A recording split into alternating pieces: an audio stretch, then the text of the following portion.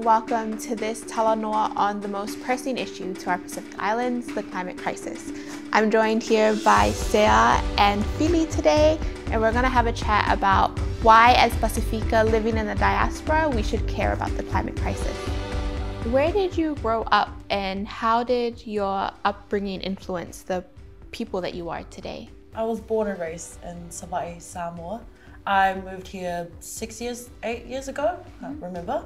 Um, I grew up in a very humble family where we sell fish for a living, we sell taro for a living, and I think um, you know growing up in that that upbringing um, really helped me with where I am today. Okay. So I was born and raised in Mangere, 275, home of the champions. um, and I think that I'm really grateful for the way I was raised and my childhood because our community, um, you'd know like from the media, there's so much negative representation. But I don't think the lived reality is the same when you're actually from Mangere. In Mangere, like everyone had a, had a hustle, everyone had a struggle, and it really taught me to appreciate different cultures and just the value of life when you don't have much and you're still making so much beauty out of that. I'm very happy that you both joined me here today. I thought we would have like a very honest conversation about accessing the climate conversation while not living necessarily in the motherland. I'd love to first of all hear the story of how did you both get involved into the climate movement? So when I first learned about what was happening in the Pacific Islands, um, and I was trying to find ways to help outside of writing poetry.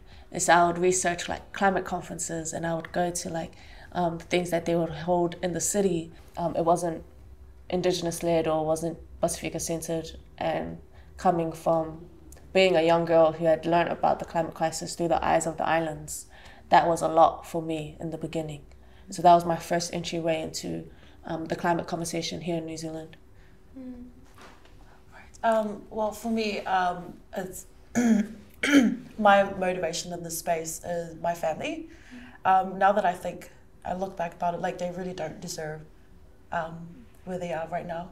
So my motivation in this space is my family, and um, I was introduced because the work that I do right now is um, for my family and the family business because it's our main source of income is selling fish for a living, and um, yeah, like no one else had like our whole entire family. There's twelve people in the family, and no one else had a, an, any different jobs.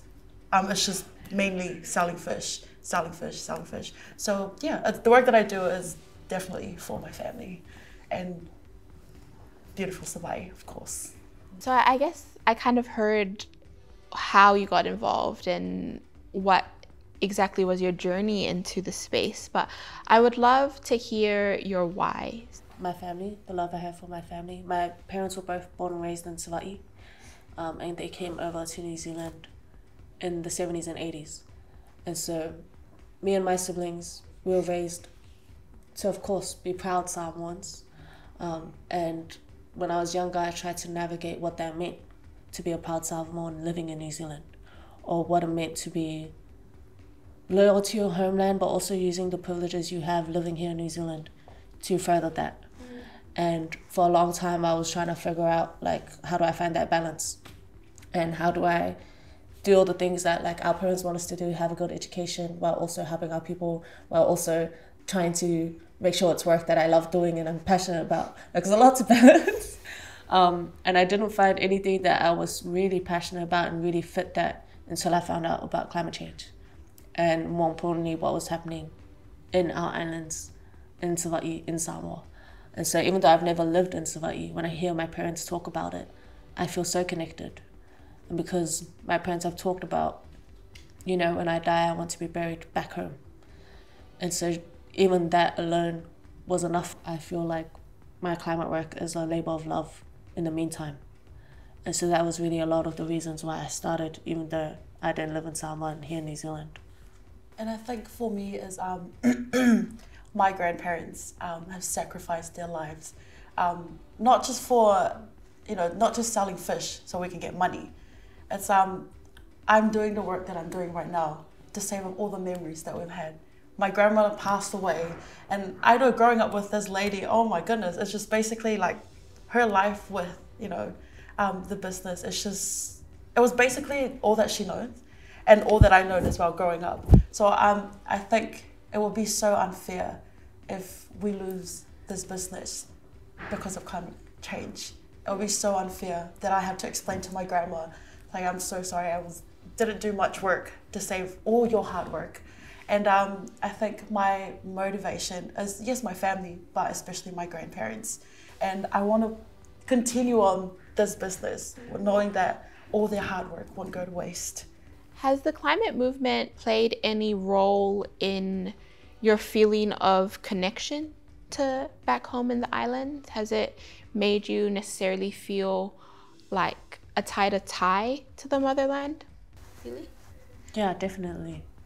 Um, I think it's helped me connect to our indigenous ways of being um, and the way that we look at the environment. Because I think that um, a big misconception that a lot of island youth have here in New Zealand is that caring about the environment is a palangi thing.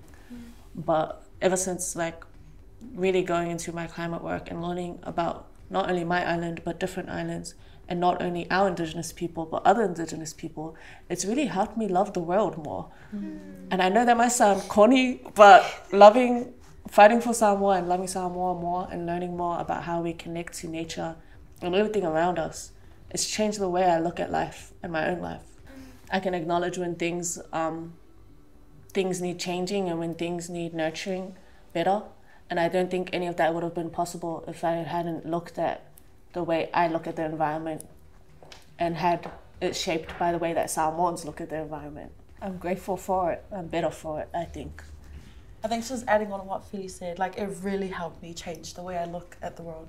Um, I think when I moved here from Samoa, I was too embarrassed to tell people that I grew up selling fish for a living.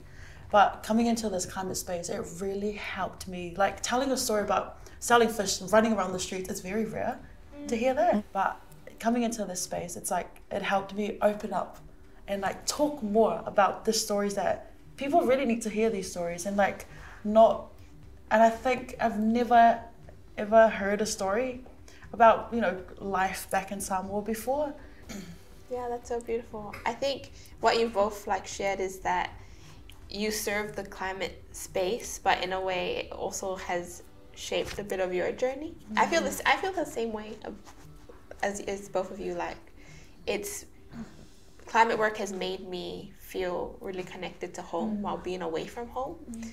I feel like a lot of us are trying to search for a way to like feel connected to the motherland, and it's always like through sports a lot of the mm. time. You know, it's like it's how we support Manu Samoa, Toa Samoa. It's like MMT 685 to the world, mm. but it's like what does that love look like? I think that it's encouraged me to look at being Samoan in every area of my life. I think sometimes we we may fall into a trap of thinking being Samoan is only for this part of my life. But when I work into when I walk into the workplace or I work into the classroom, I think there's definitely a pressure here in New Zealand to leave that at the door. Um, but because of the importance of climate work and the importance of really fighting for our people and seeing how hard our people are fighting, it makes you want to be proud in every aspect of your life. That pride has to be turned up a hundred times more when our people are going struggling through things like the climate crisis. I think that's the time where we really need to think that we really need to show up for our community in our times of need.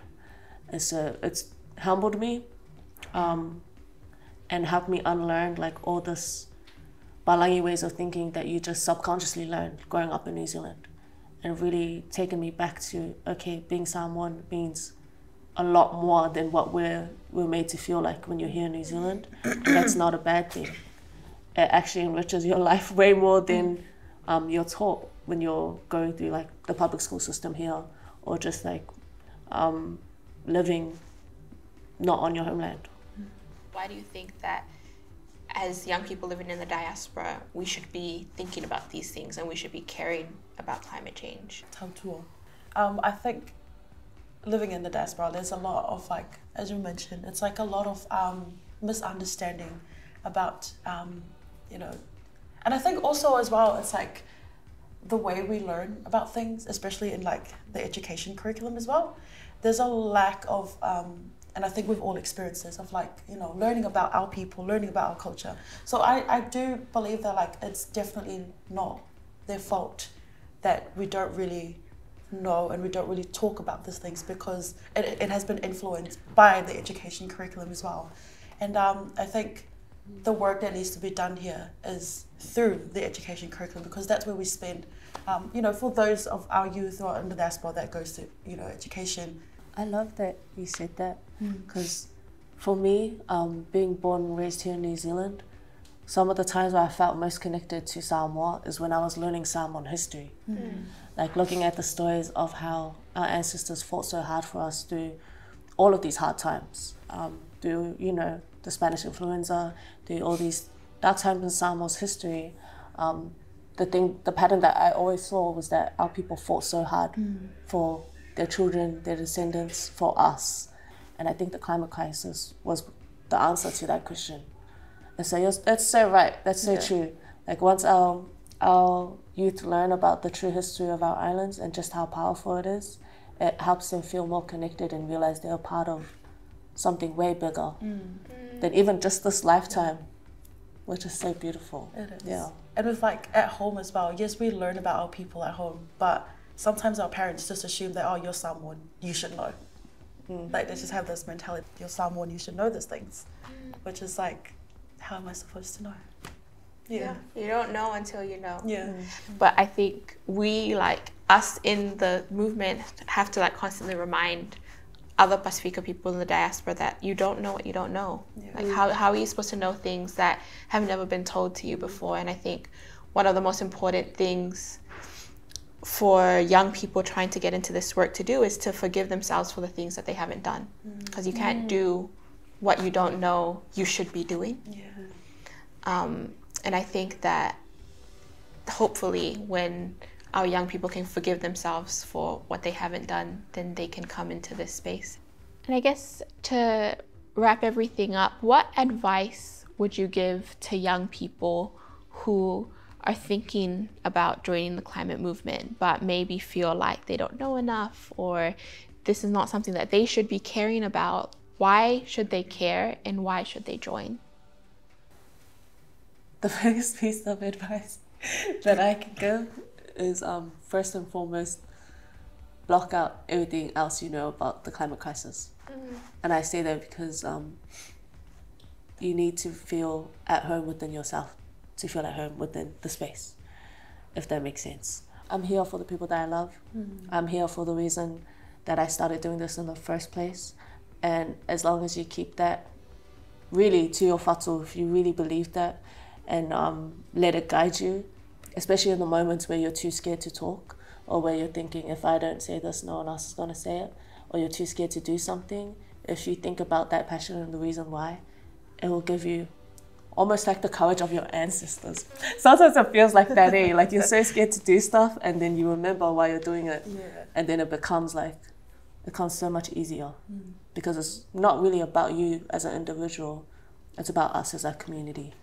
And it helps you get over yourself. There's Yeah. so many people, so many beautiful people in the community um, of all ages who are ready, who are ready for our youth to step in, um, step in and step into their greatness.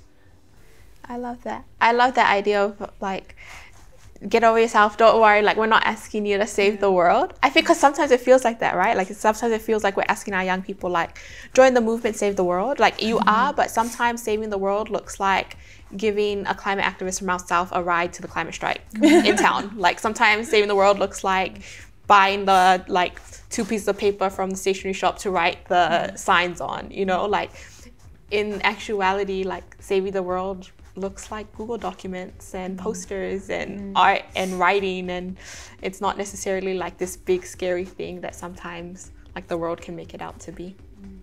And what would you say, Sarah? What would be your advice to someone wanting to join the climate space? this beautiful lady advised me before uh, when we sat down.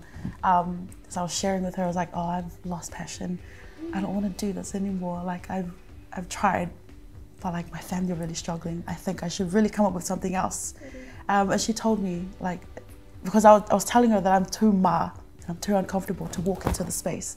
And then she told me, she's like, if you ever find yourself ever again in like in those spaces where you feel uncomfortable, you're in the right space.